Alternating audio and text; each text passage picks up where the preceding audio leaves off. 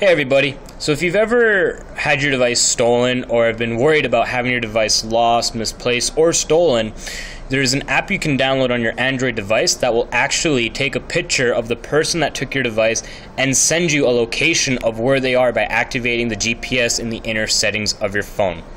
It's called GotYa. Check this one out. So, just last week, after a very long wait, I finally received my brand new Nexus 4. And since I got it, I've been concerned about losing the device or having the device stolen.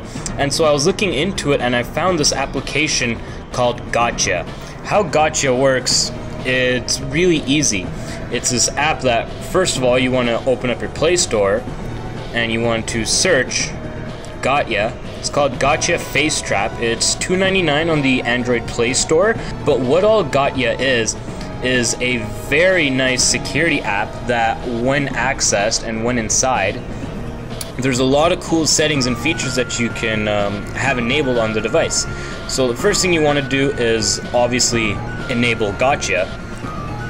Then with that, it's going to ask you to set up a password to log into the application itself. It's just going to ask for a letter or numbered password. And then what it does is when you have that set up you can enable other settings like failed login so what that means is it'll actually activate the front facing camera. So from the lock screen if somebody takes your device even if it's a friend or a family member and they put in the wrong password whether it is a face unlock pattern lock pin or password It'll take a picture of the front facing camera. It will send you a picture via email with the GPS location of where the person and the device is so you know what they look like. This application has actually been used by police officers and law enforcement as well. It's a very, very good application. I strongly recommend it's a must have and well worth the $3 investment. Another you can do is have it display system notifications in the status bar. Um, the, you can have it enabled for Facebook notifications as well to upload in your Facebook wall or email. I have it to send me an email. Also, you can do a SIM card change. By activating that, you can put in a telephone number so that way when somebody takes out the SIM card and tries to put a different SIM card in, it will also put it'll also uh, send that uh, phone number saying that hey your device has been taken such and such person has tried to change the sim card here's their picture here's the location and here's the number Okay. And then there's some other settings that you can do, like configuring your email address settings and other advanced settings. But the settings that you want for sure is obviously enabled.